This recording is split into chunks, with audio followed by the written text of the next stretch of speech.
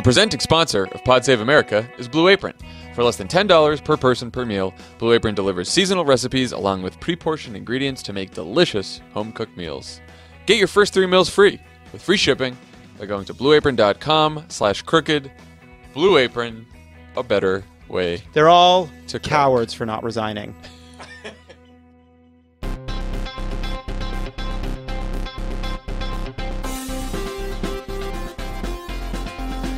Welcome to Pod Save America. I'm Jon Favreau. I'm Dan Pfeiffer.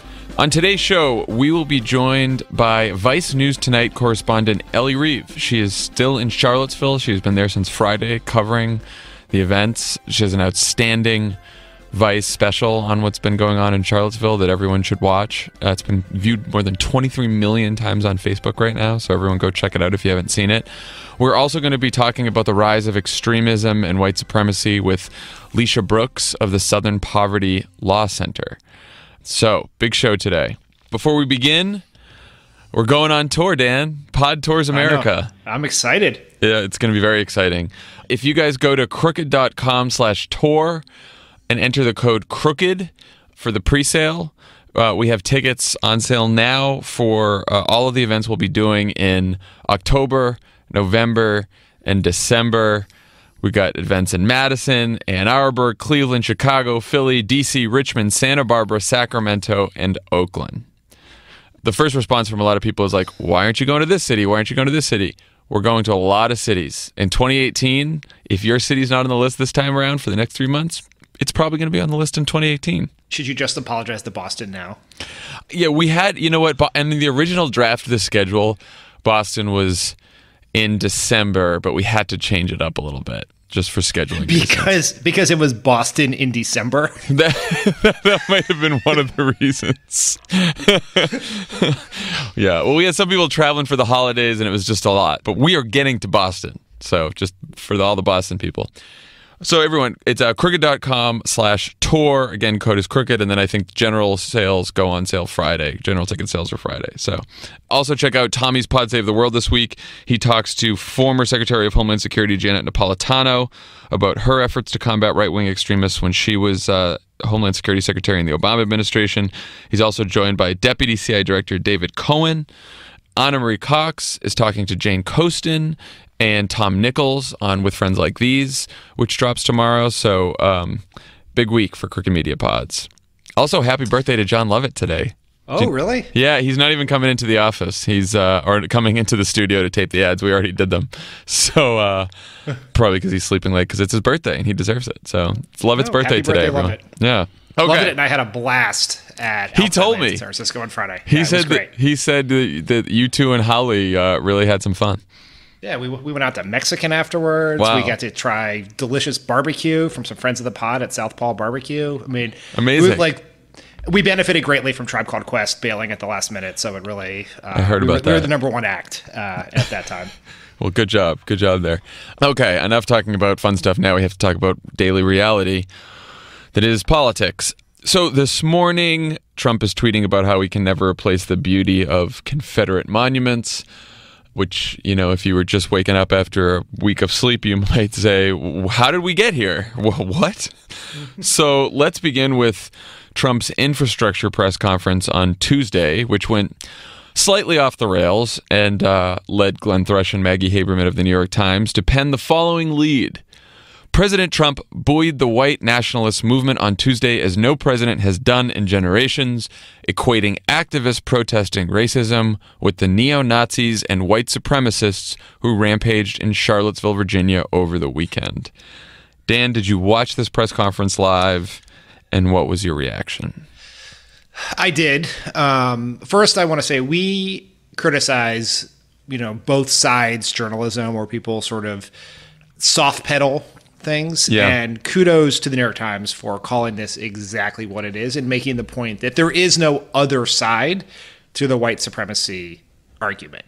And not treating it as if it's a debate over infrastructure policy. It's a moral issue. And like that was a powerful lead and there was a there was a, there were way, many ways to soft pedal that and try to treat it as a this side versus that side or he said she said and they did that right They perfectly met the awful moment, I thought, in uh, with that story. I did watch it and I mean, it was just he's just there. He's in Trump Tower lobby. He's surrounded by the wife of his arch enemy, Mitch McConnell. uh, notice globalist cuck uh, Gary Cohn. Steve Mnuchin. Other globalist cuck Steve Mnuchin. And he's just talking about infrastructure, which is something presidents do a lot. And then it just every word once he started talking about this issue, it got crazier. Like you thought I was like, oh, that's a terrible thing. He didn't really want to say what he said on Monday, so he went back to a Saturday statement, which is offensive and horrendous, but not super surprising. And then he went so much further Yeah. than that. And he just, I just, you like couldn't believe it as it was happening. I mean, I, I expected as the press conference began that the more questions he took, the angrier he'd get, and the greater the chance he'd say something really stupid and repugnant. I did not expect it to be quite so stupid and repugnant. At first, he's like, I'm just going to reread the Saturday statement. And then he seems to get a little angrier. And then the reporters keep pressing him. And then at one point, you see him just sort of lose it and think, fuck this, I'm going to say whatever I want to say. It's important to start by pointing out that very little of what Trump said about Charlottesville was true. Uh, he said that that not all of the protesters there were neo Nazis and white supremacists, and some were very fine people who were quote innocently protesting. And twice he mentioned the torch rally on Friday night as evidence of this. But like anyone can see from the video footage, if you watch the Vice video footage, that this isn't true. You can see the Confederate flags and the Hitler salutes. You can hear hundreds of them chanting the Nazi saying, blood and soil, Jews will not replace us. You can hear them screaming gay and racial epithets. There was no other group of protesters. And if you're just an ordinary citizen who came to peacefully protest the removal of a statue, and you're surrounded by a bunch of assholes with guns doing Hitler salutes and screaming Jews will not replace us, you either leave or you're not that innocent. And it's like, and, and last night, I don't know if you saw the their gathering last night in Charlottesville. It was a vigil and a march. When the Nazis and white supremacists didn't show up to that, there was no violence. It was completely peaceful. It's very obvious who, it's very obvious that this there was not innocent people in this just protesting these Confederate statues. It was a it was a gathering for Nazis and white supremacists. I mean, it's also important to note the Confederate statue is the excuse. It is Right. not the reason they were there. It was an opportunity to all show up and be racist. Like it was not. This is not some long held belief of theirs, and it's, it's just mind boggling that we are having it that the president of the United States is having a debate about the culpability between two groups when one of them is Nazis. Like it's just so fucking crazy. It's hard to possibly fathom. Like there is no there are no two sides to this. Like we live in a very polarized country, but you you would think the one thing that the overwhelming majority of people, including the president of the United States, could agree on is that Nazis are wrong and the other people are probably right. Full stop. Full stop. I mean, and you have to. So you have to wonder, like he gets all these facts wrong. He just, you know, comes up with this alternative story, these alter- of of what happened in Charlottesville. Like, where is the president of the United States getting his information from?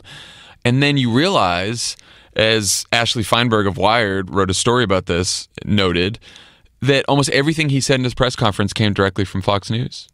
All of I the, am fucking shocked. But it's important because the way that Fox talks about this, which is not, you know, so overt that they're saying, no, no, no, we, we agree with the white supremacists and the neo Nazis. It's Democrats are using race and identity politics as a wedge issue. This is the, the leftist mobs were just as violent. There were some innocent people there on the right just talking, you know, that high-minded debates about Confederate statues, right? That's how this is filtered through Fox, and it's not just getting to the president and have and where he speaks about it in front of the whole country, which is shocking and awful enough.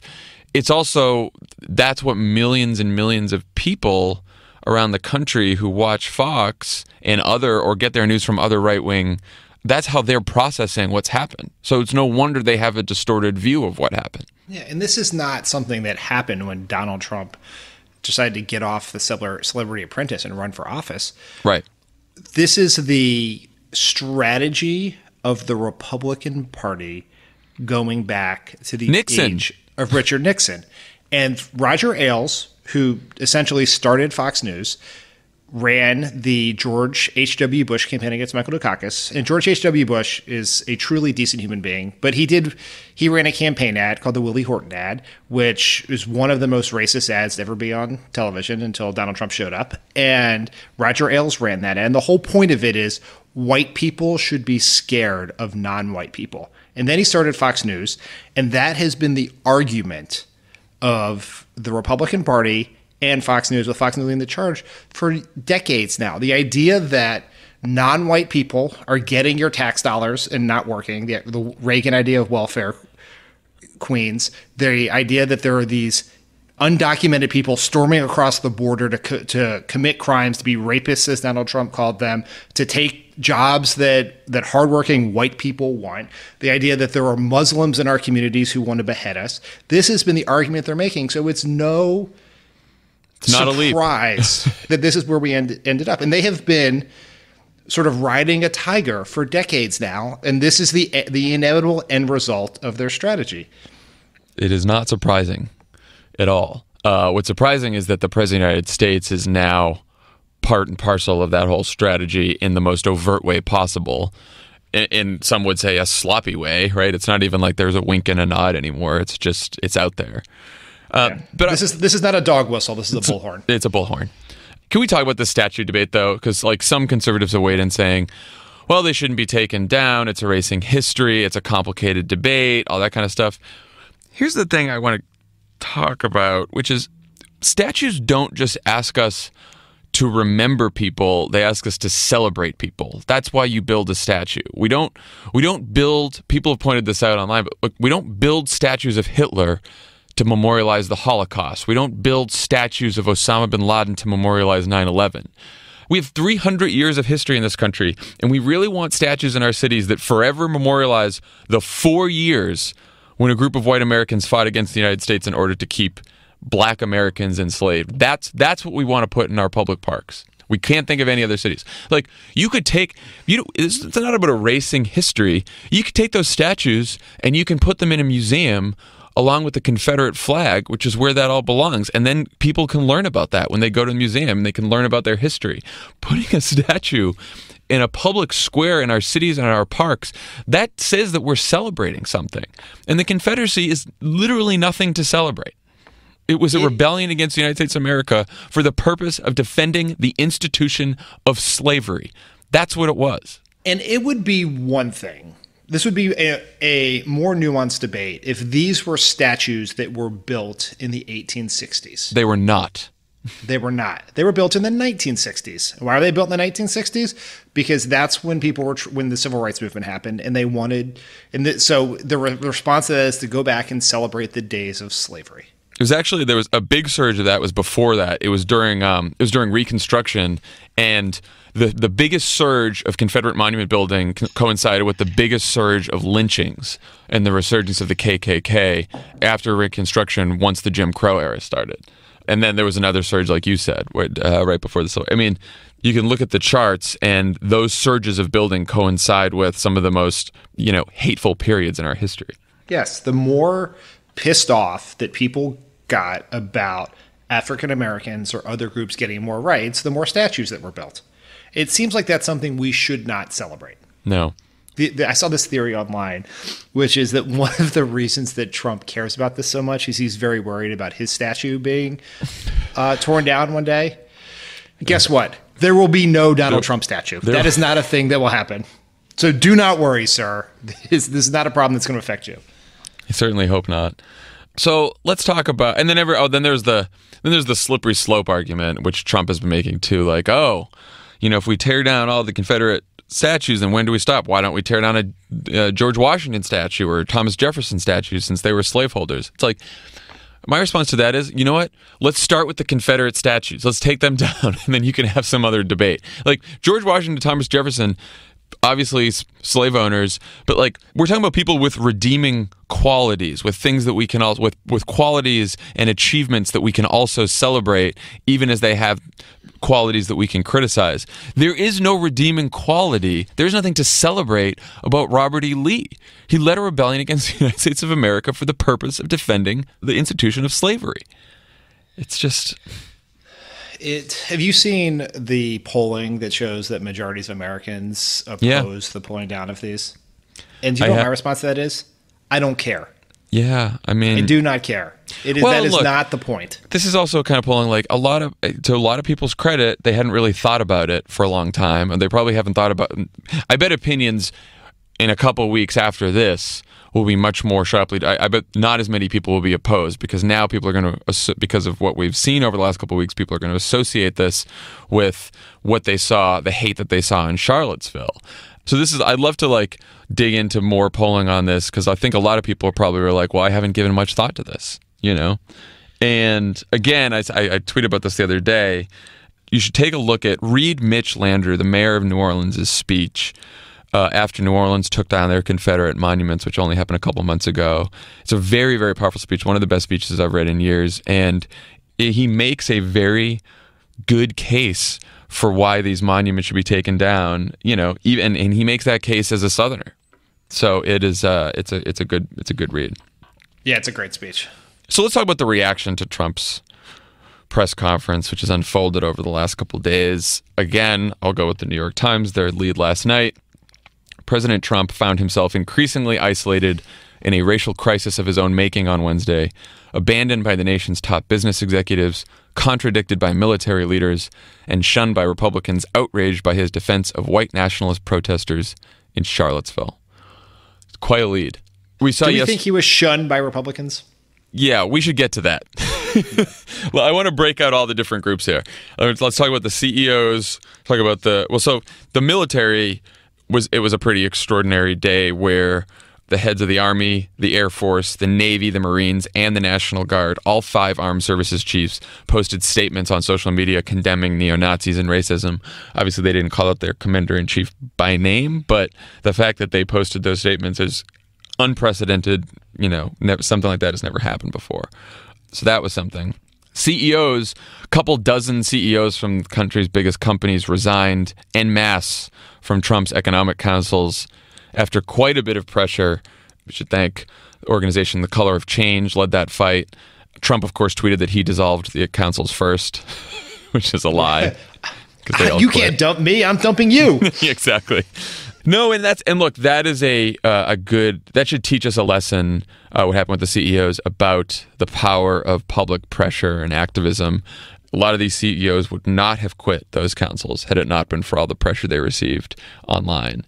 And people should know, like a lot of these CEOs, a lot of these companies, they get they monitor social media when there's mentions of their CEOs when mentions of their companies it matters it makes a difference to them especially the biggest consumer facing companies you know when they hear from people who were opposed to what Donald Trump did and those voices are louder than the people supporting him they're going to make the they're going to make the right decision Do you think it matters? I think all of this stuff matters.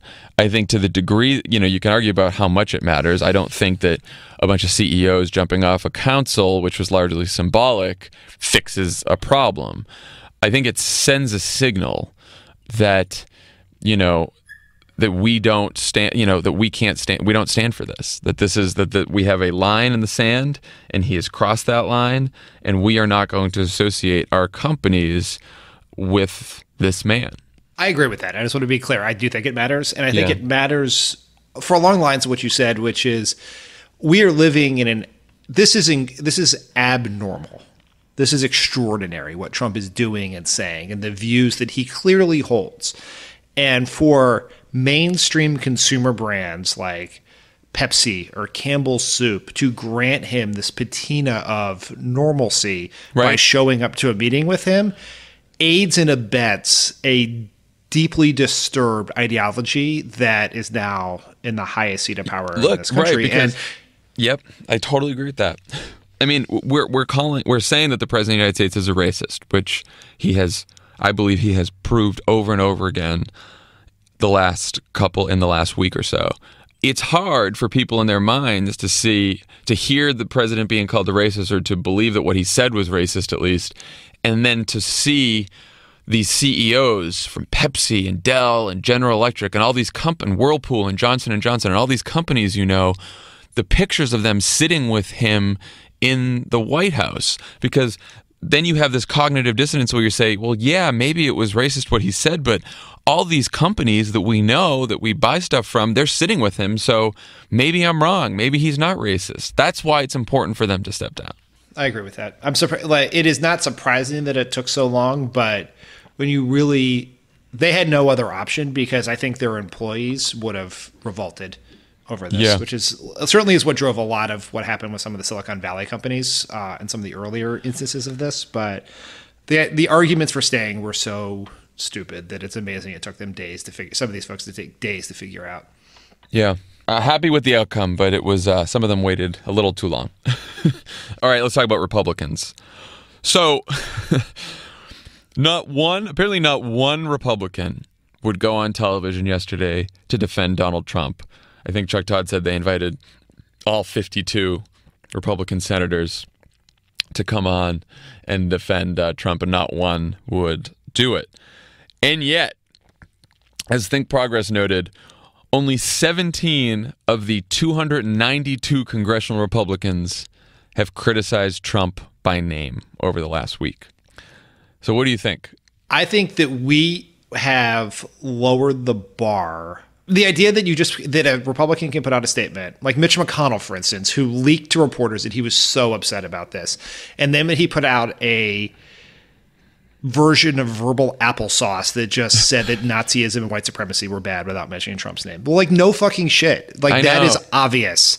Like we all, except for Trump and some of his minions like it was it was at least an accepted part of political discourse that white supremacy was wrong and something that should be chastised. And now it's like oh how courageous what the moral authority of paul fucking ryan that he said nazis are bad with by like subtweeting trump. Well have the fucking courage to say something about it because you know what?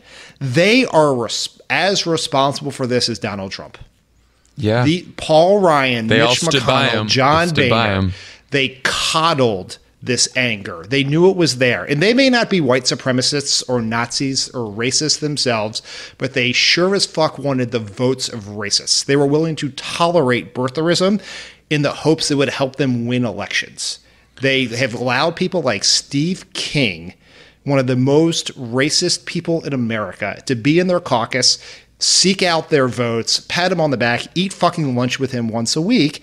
And this is where we wind up. None of them, with the brief exception of John McCain during the 2008 election, the fucking courage to do anything. All of these people, Mitt Romney himself, who has shown a lot of Trump courage about Trump in recent years, all of those Republicans in 2012 went hat in hand to Trump Tower to kiss the ring after Trump had been a birther for years to seek his endorsement. Reince Priebus sought his support and money. All of these people have they have all, they have known this was happening in their party and done nothing about it because they thought it helped them politically. So spare me your fucking statements. As you can tell, I'm, I'm worked up about this. No, man. I mean, look, Lovett said the other day, I think he tweeted this, that uh, some of these statements reek of bad conference calls. you, you can hear the conference call with all the advisors, right? Like, we have to say something. The boss has to say something about this. Should we put Trump's name in it? Eh, don't want, I don't think they should do that. If they put Trump's name in it, then they're going to be a target. He's going to go after them. I don't think we want to go that far. I think the base is on the other side of this one. I think the base probably likes what he did. So maybe, but but you know what? The media is hounding us. Like we're going to get in trouble if we don't put out any statement at all. Let's just do a general condemnation of white supremacy and Nazism. Leave it at that. We won't mention Trump. No one will notice. We won't get any calls about it. Right? It's low. It's lowest common denominator morality. It is. I mean, the most important story in the country right now is that the President of the United States is defending Nazis and white supremacists. If you're a politician and your statement doesn't offer a specific view on that, don't bother releasing the statement. You know? Not good. Um, and so, did you notice that some that uh, Jerry Nadler, Democratic representative from New York, has introduced a resolution of censure against the president? Uh, censure is basically a formal disapproval that Congress can pass, and it can censure. You can they can censure a president, they can censure a fellow member of Congress, a senator, a representative. They're very rare, it's basically like a step below impeachment, right? You don't remove the person from office. Um, if you censure another member of the House or the Senate, they can be removed from various committee chairmanships. I think only Andrew Jackson has been censured. They tried to censure Bill Clinton uh, around the Monica Lewinsky scandal. So anyway, Nadler has introduced a censure resolution backed by a couple Democrats. What do you think about this? Because my thing is like, if you're a Republican, and Jennifer Rubin, who is a conservative columnist, the Washington Post wrote this yesterday. She goes, "If you're a Republican, the only thing that matters is if you sign on to this censure, if you vote to censure the president. Otherwise, your statements don't really matter that much." I support it. I think let's put people on record. If you are so morally outraged by the president's support of Nazis, it's I mean, that's such a fucking crazy thing to say, but if you were so outraged by it, do something about it and put your put yourself on record that you disapprove of what Donald Trump said, not the general concept of racism, but of the racist in chief. And if you're willing to do that, that's great. And I think voters should know if you were unwilling to do it. So I, I think this is the right thing to do. It's a good idea, and let's let's see how much how outraged these Republicans really are. Right. Yeah. I mean, put up or shut up. Notice that no, no one, uh, we talked about the CEOs resigning. Notice no one from the Evangelical Council has resigned, religious group of people there. Why is it is, I want to know why there's not more pressure on these people. Is it just assumed that, that these faith leaders are going to be totally okay with racism and white supremacy and everything else that has come from Trump? How did, like, I understand why all the pressure was put on the CEOs, but why? like what is what is the argument from some of these evangelical leaders why they would why they would stay and it really goes to some of the real the sort of the tension within i mean trump is is a truly immoral human being yet he got tremendous support from the evangelical community and it the evangelical leadership for sure and it just raises a lot of questions about what is driving their political support. And if you can't, if one person on hmm. that council, I think I, I, think I might know some of the answers to those questions. yeah, yeah. I'm subtweeting them. I, I, don't. I don't believe it is their. Uh, I don't believe it is their faith. Yeah, it's pretty sad. Pretty sad state of affairs yeah. there. Should we talk about the staff? We have been told by uh, many media outlets, many anonymous sources, and many media outlets that Gary Cohn was outraged and very angry. He was so outraged and angry, he went right back to his desk and got to work. So yeah, Gary's upset, Dina Powell's upset, Jared and Ivanka, they they've been trying to moderate their their father and father-in-law, you know, on this issue, but uh, they were on vacation, so they really couldn't be bothered. I'm just uh, this it makes me so angry because you know what? None of this matters. These people have no influence over their boss. They can't control him. They can't persuade him. They can't convince him. He doesn't take their advice. They are useless to talk about anymore. They are useless. I find these people to be morally bankrupt. If you if you are so upset that you will dispatch your friends or your personal PR firm, wherever the fuck it is, to call reports so people upset you are, then fucking quit or shut the fuck up. Yeah, like and at least at least Steve Bannon is out there just admitting that he's happy about all this on the record. You know, like he's just like, yeah, this was this is what I wanted. Trump killed it in that press conference. Good for him. The rest of them, they don't have the courage to talk on the record about how they feel. They just have to go. They have to go call up Jonathan Swan at Axios and you know let them know that people are very upset, and they're or call up the New York Times or call up the Washington Post and go on background anonymously to talk about how upset they are. One of the things that's been bothering me recently is, do you ever remember reading about what Obama NEC chair Gene Sperling felt? What his emotional what his emotions were on any given day. Do you ever remember reading a story about how you felt about some strategic decision or whether I was in a good mood or I had gone to an office somewhere and the feeling isolated. No. I did and not. like we are living in this super weird reality show with these incompetent people. And the argument for the amount of coverage on the staff from reporters has been it's important because who's up, who's down, who feels happy, who feels sad, gives you some clue to what the Trump administration is going to do. And it doesn't. I think it does not. these people are irrelevant. There's only one person that matters, and that person is Donald J. Trump.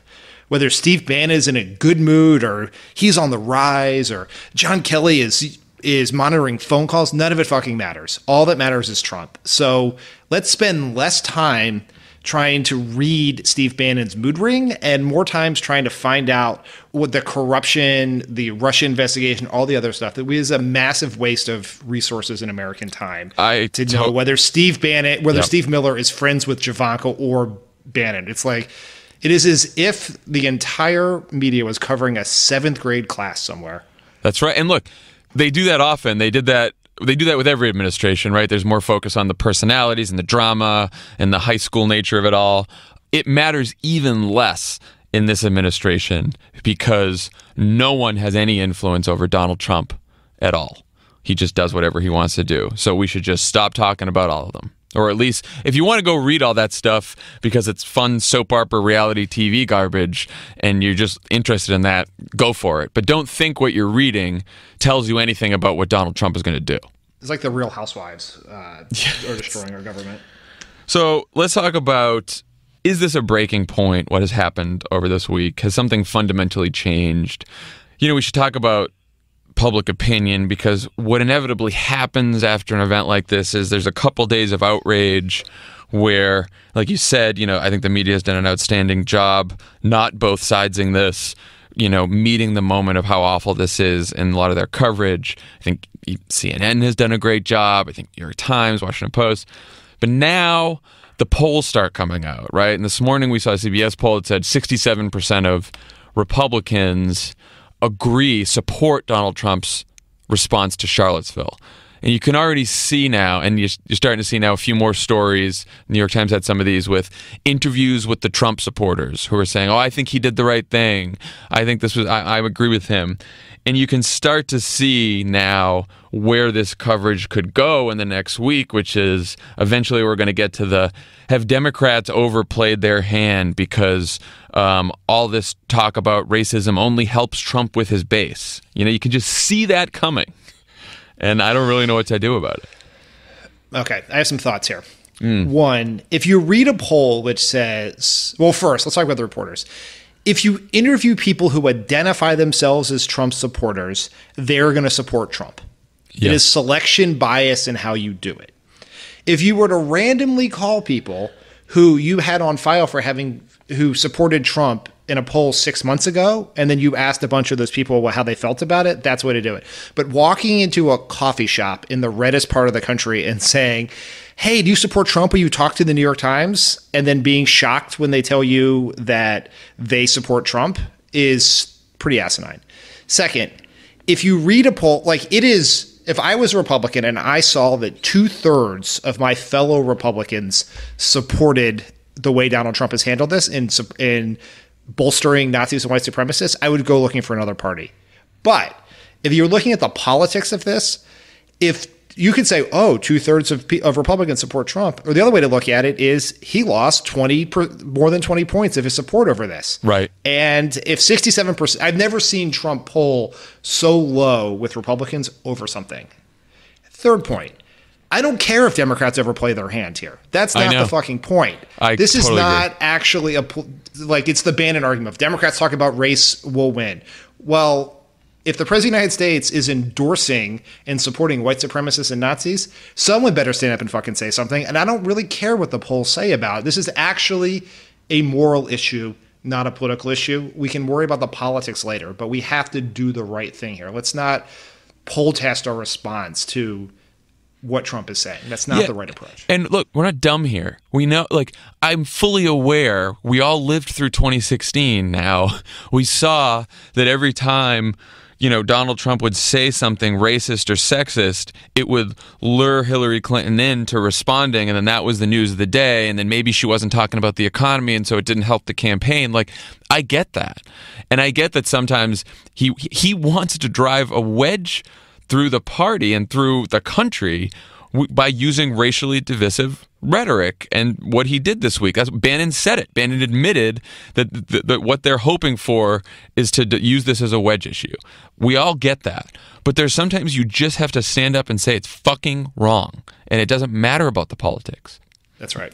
It's just, man. Okay. When we come back, we will talk to Vice News's Elle Reeve.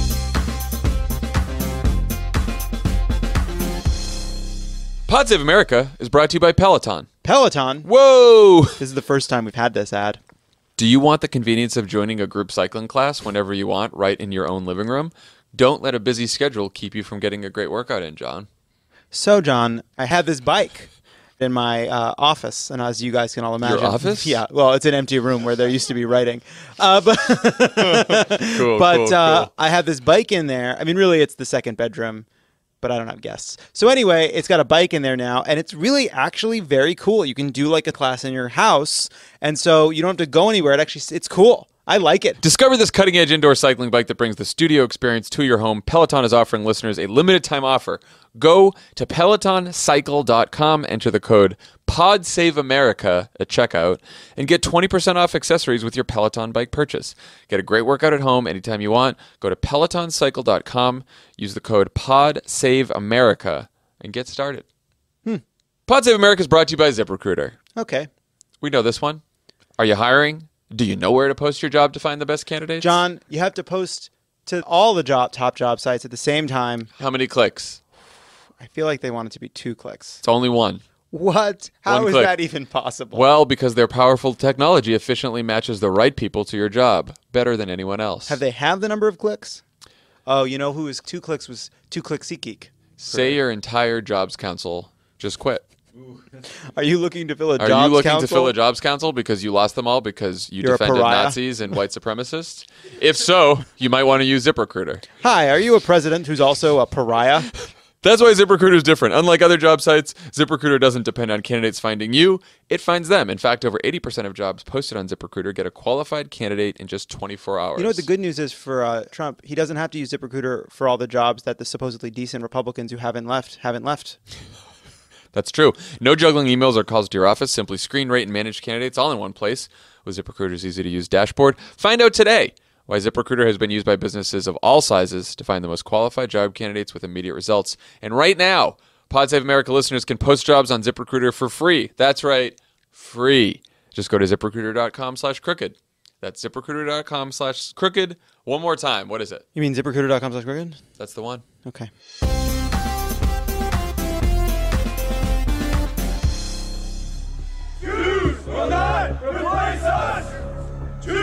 Will not replace us! Jews will not replace us!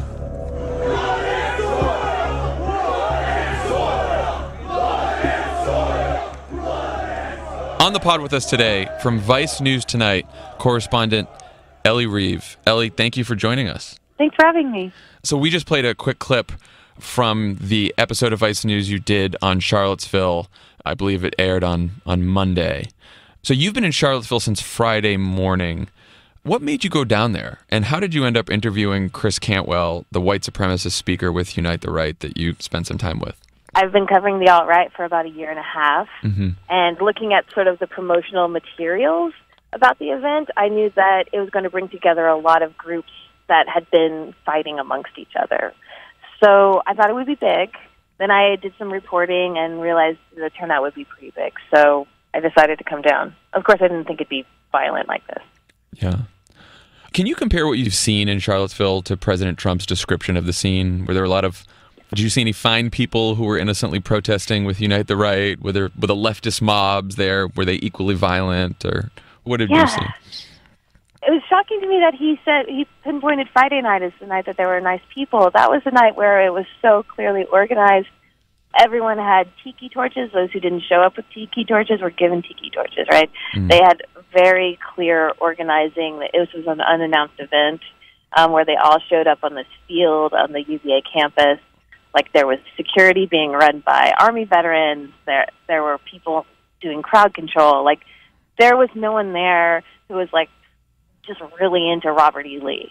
Did you, when you were in the van with these folks or in sort of embedded with them, did you fear for your safety or had you sort of built relationships with these people prior to this? I'd never talked to Cantwell before this story, but they are familiar with my reporting. But they don't like the press, and they don't like women. So yeah, there were moments that I thought it was a little hairy. Um, but I knew that in that van, I knew that if I got that guy ranting about the Jews, they wouldn't kick us out. So, you know, I let him go. Now, one of the people filming that was my producer, Josh Davis, who's Jewish. So, yeah, there were some tough calls uh, at some point. Were you surprised by how openly Cantwell and others were advocating violence? We can listen to a clip of him in the hotel with you. What do you think this means for the next alt right protest? I say it's going to be really tough to top, but we're up to the challenge. Wait, why? Why? Tough to top. I mean, someone died. I, I think that a lot more people are going to die before we're done here, frankly. Why? Why? Because people die every day, right? I mean, do you, But do not you- like of a heart attack. I mean, violent death. well, people die violent deaths all the time, right? Like this is part of the reason that we want an ethno state, right? So, like the the blacks are killing each other in staggering numbers from coast to coast. We don't really want to have a part of that anymore, and so the fact that they resist us when we say, "Hey, we want a homeland," is not shocking to me. All right, these these people want violence, and the right is just meeting market demand. Did it surprise you that he was so open about that? That was what was most surprising about me. I thought that even that publicly, even if they were advocating violence, that they would try to be quiet about it with the media. But it seemed like that was just he was fine with it. I think there might be some disagreements over PR strategy among some of them, but I had heard sentiments like that, that there needs to be violence before there's some kind of revolution and movement mm-hmm. towards fascism. I, I wasn't expecting him to have quite so many guns. I wasn't expecting him to say that killing Heather Heyer was a justified and righteous thing to do. So that did shock me. Cantwell and the guy in the van with you are figures that are familiar to people because you know we sort of sometimes see these Ku Klux Klan members or like very clear, you know, obvious neo Nazis. What is the relationship between folks like them and like Jason Kessler, who I guess organized this, and Richard Spencer, who have tried to, you know, put you know white polo shirts and khakis on the Nazi movement? Yeah, so there's this whole ecosystem of the alt right, and I can get into why I call it that, but there's this whole ecosystem of these guys that's kind of under our noses because the internet means, you know, not everyone has to read the New York Times. They've got podcasts, um, 100,000 listeners a week for some of them. They've got sort of think tanks. Um, so these guys all know each other, um, and they're all connected. Kessler is kind of a newcomer. Spencer is known for being a publicity hound, but he does have a pretty strong organizational role. Um, he's involved with his own think tank, but also this um, thing that functions as kind of like a fraternity for white nationalists. It's called Identity Europa. You have to not have a criminal record, not do drugs, and uh, not have any racial admixture uh, to get in, right? So, and and those are the guys that show up on the scene. So, yeah, they're all connected. Some people are more powerful than others. So why why do you call them the alt right? Because some people have said, oh, we should just call them white nationalists or white supremacists. They are white supremacists, hmm but alt right is different in that it signifies the demographics and the tactics, right? Like Hmm. we have a hard time talking about class in America, but when people say Richard Spencer is dapper or articulate, what they're saying is he sounds upper middle class. He sounds like he went to an elite university. He sounds like me, right? So we we associate the Klan with rednecks, right? Yeah. Well, the alt right is going for the college educated guy, and they're using social media tactics, uh, very sophisticated ones, instead of burning crosses in people's yards. They have talked to me about how for the next demonstration they want to have stronger controls of aesthetics, which means no swastikas because that's a, a dead political movement, and no, to quote them, white trash because they want to look successful. Wow. You went to the memorial service for Heather Heyer last night and the vigil. What was that like? How how are the people in Charlottesville doing right now? they're in shock. Heyer's memorial was very moving. Her family talked about her as a really passionate person who hated unfairness and injustice and would be very vocal about that, even if it got her into trouble. I thought it was really poignant that they weren't afraid to make it political. You know, they didn't talk about Trump or something, but they said, like, don't let her death be in vain, go out and take action. People come up to me on the street in Charlotte um, and they just all feel so shocked. They're very emotional. Uh, This thing that happened to their town, they didn't know it was coming. I talked to a man today. He said, "You can tell it was a terrorist attack because we are all terrorized." I mean, the town is just sort of torn apart. But but the vigil last night was a, a really healing moment. I think. How close were you to where the terrorist attack happened when it happened? Oh, just a few feet. I was standing around the corner in a doorway trying to get some shade, and we heard this like horrible, like loud crunching sound, and then all these people screaming. So I backed against the wall. I was like, "Is this like? Does someone have a gun? No, it doesn't sound like a gun." And then we looked out, and it was. Then I realized that that sound was people's bodies being hit with the car. People keep asking me, "How did you keep your composure in front of Nazis?" Like, whatever, I'm not going to let them win. But like, trying to hold it together when that happened, that was actually really hard. Yeah. I thought what was I, I could imagine how hard it was for you to interview Cantwell and you know you're trying to be you were very good at asking him tough questions without pushing so much that he would get really angry with you. I thought that was a very that, that must have been a hard balance to strike, right? Yeah, and you don't want to get in the weeds with them with their like quack eugenics theories. Right. Yeah, we also wanted to make this story about the event and not just a profile of Cantwell. He he did get quite mad at me. He's a emotional man. I could tell that. Um, Yeah. So since you've been covering the alt right for a while, you know what what have you noticed about the success of their recruiting efforts? I mean, have you seen you know how short of it how short of a distance is it between you know people who troll around on some of these right wing alt right websites and you know people marching with torches in Charlottesville? It's hard to keep track of because uh, there's so many different social platforms, but they start really, really young.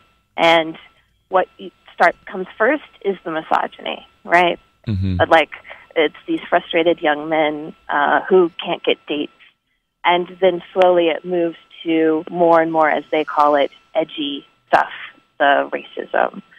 So, something that I think is really telling is a term of art in their world is autist, A U T I S T, as in someone who seems autistic. Like they use it both as an insult and as a badge of honor. And then when they swarm on something like the Clinton emails, like Pizzagate, like Shia LaBeouf's uh, protest art, they call that weaponized autism. The idea is that like a bunch of you know guys who don't have social lives, who have an obsession, who won't get off the internet, are able to swarm and uh, you know basically cause news events to happen. How has Trump being president affected this movement and the people in it? they love him. They love him. I mean, they like he is. They always tell me. They always act surprised but happy when Trump sort of throws them a bone, right? Like uh, like the Holocaust statement where he didn't actually mention Jews, right? They thought that was like they couldn't believe it. Like it was incredible to them, right? Same thing with Tuesday. Um, one kid texted me like, "My God, I love this man. He really does have our backs." Like they don't actually believe he's one of them. That he believes in all of the race science and like you know all the other quackery, but they think he's basically on their side. Well, Elle, thank you so much for joining us, and thank you for um, all the reporting that you're doing from Charlottesville. It's meant a lot to a lot of people, so appreciate that. Yeah. Uh, be safe thanks out so there. much.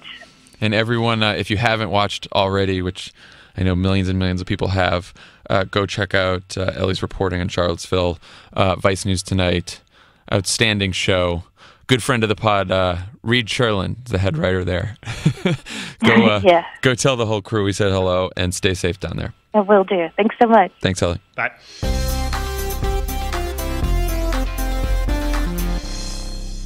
Pod Save America is brought to you by Upside like we've been telling you for a while, if you travel for business, stop wasting time pricing your flights and hotels at the same old sites you used to go to. Guys, Tommy does not have a mic. We're down to two mics here in the studio. The so he's just going to only- be shouting. Guys, we're doing this from the studio.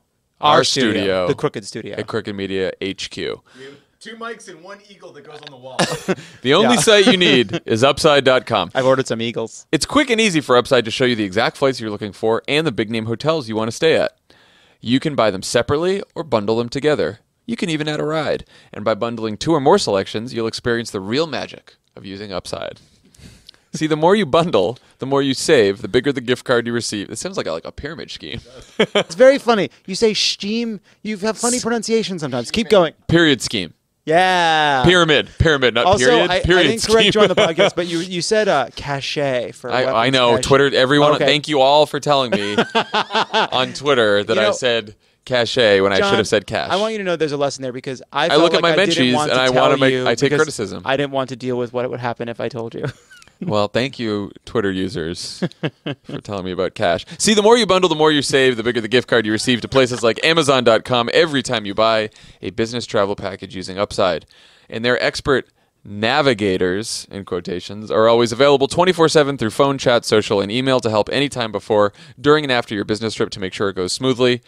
We use Upside. Their concierge level of service, again in quotation marks, is second to none. You get the VIP treatment while still paying low prices and being rewarded with gift cards every time you book.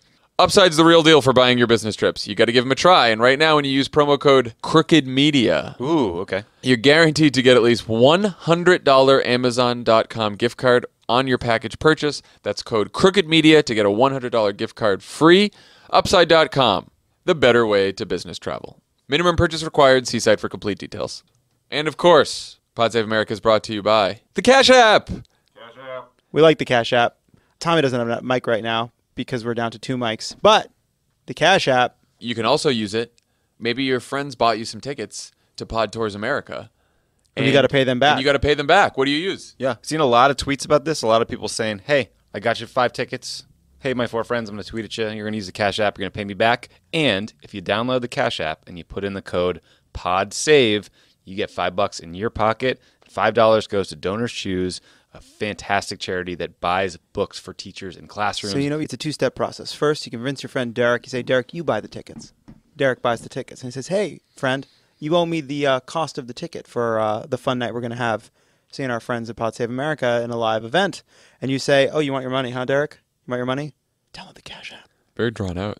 Download the Cash App. And guess what? And if Derek hasn't had the Cash App before, now Derek downloads it. He puts in the code PodSave. Yep. And now he gets five dollars, and Donors Choose gets five dollars. Derek, what are you doing, Derek? Derek, do it. Cash App. End of Cash that. App. PodSave America is brought to you by Postmates. We love Postmates. We love Postmates. Download Postmates. You put in the code Crooked. You get hundred dollars free delivery. That's incredible. You order all the food during Game of Thrones. Or other Just- shows. I triggered love it. You did not. T- you did. Triggered. You can't. Tri- you people He's can't so trigger me. triggered. You Oh, two couldn't trigger you guys, me. he's coming across the desk at us. I don't John, think that back I away. am. I Roll away can in our new by my- barking. I think you can tell by my tone that a I am not coming at them, and b it's a podcast, yes, but a dog barking they could hear. You know, you could do a visual lie. I don't appreciate any of you who were tweeting about how Lovett was right to change Tommy's TV. Yeah, shut up with the t- tweets I want about you my all TV. to know how much I appreciated the fact that my canceling his dumb motion interpolation and dumb backlight settings helped his life, despite the fact that I was the subject of ridicule and scorn. Triggered. Triggered. Anyway, I Postmates. Put in the code Cricket Guys, Cricket. Hundred dollars free delivery. I cannot Get your help friends to that I've download thrown it. my lot in with a couple of bros, but Postmates. I can get some food at my house with Postmates. Postmates. On the pod today, we also have from the Southern Poverty Law Center, Lecia Brooks. Lecia, thank you for joining us. Thank you for having me. So we're very familiar with SPLC on Pod Save America. For those who aren't, what does the Southern Poverty Law Center do? We do a few things. Primarily, we're a civil rights law firm, but we also have a project called the Intelligence Project that tracks and monitors hate and extremist groups. So we identify hate and extremist groups, and, and it's our wish to push them back to the margins. And we also have a project called Teaching Tolerance that provides free resources to educators on anti bias topics. Has there been a, a rise in the number of white supremacists and neo Nazi groups during the Trump era?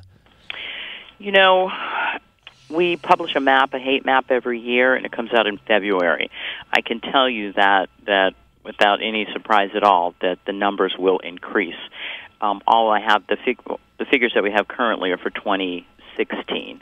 There were 917 active hate groups um, last year, 99 of them being neo-Nazi, and 130 Klan groups. We do expect that number to increase we did see and note an increase in the number of hate and bias incidents that happened in the immediate aftermath of the election, and people have talked about that a lot, tying Trump's campaign and his successful election to the kind of the way the the right got so excited and emboldened and animated their um, their cause, and we saw that I think very clearly in Charlottesville.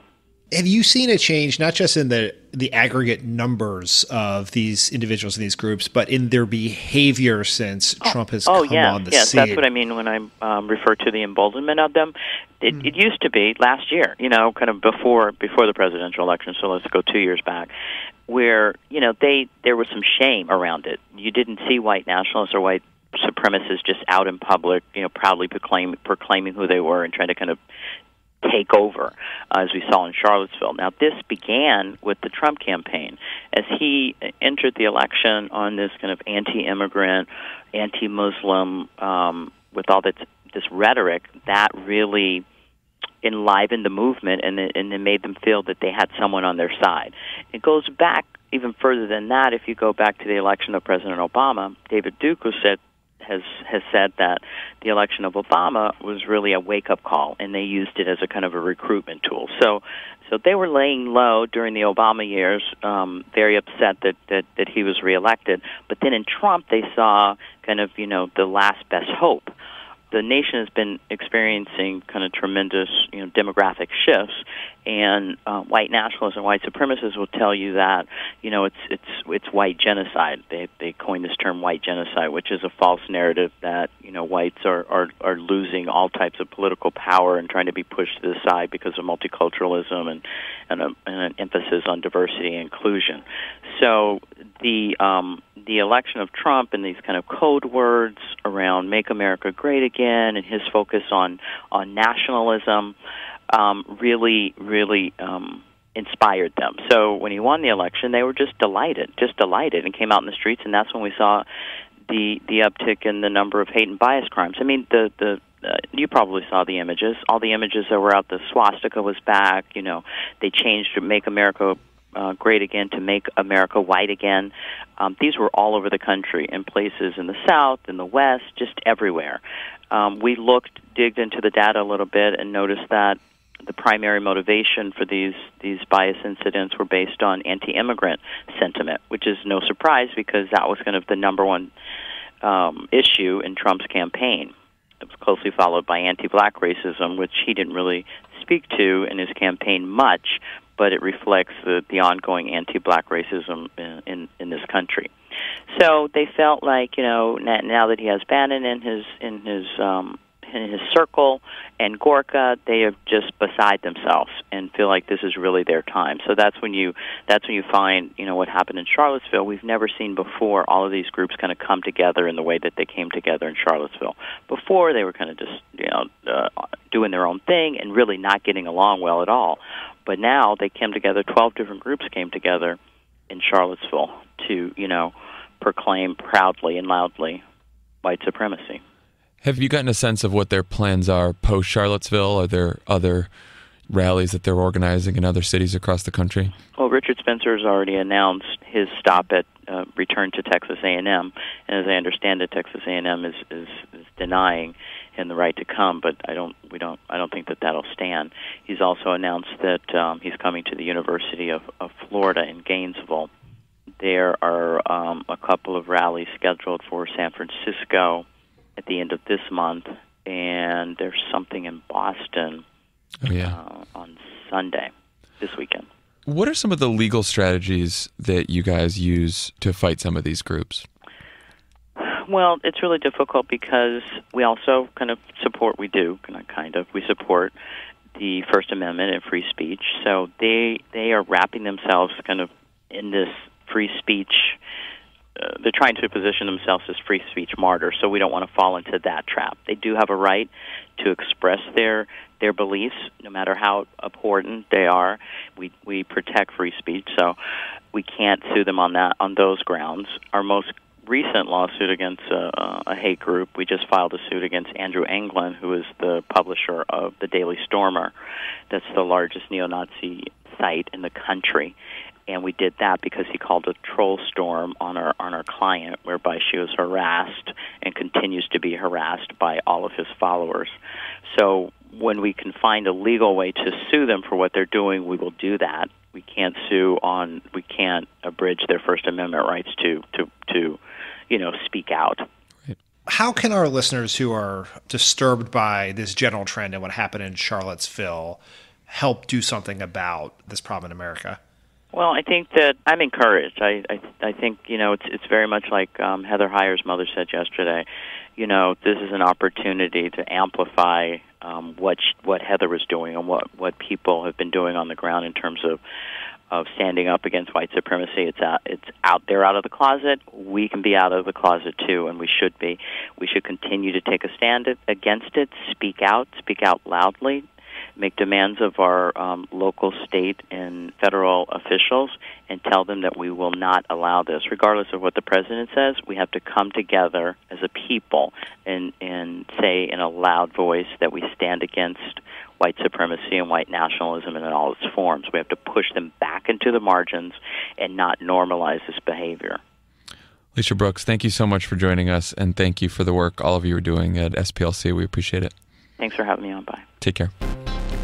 Thank you again to Vice News' Elle Reeve and Lecia Brooks from the Southern Poverty Law Center for joining us today. And we'll see you again on uh, Monday. Bye, guys.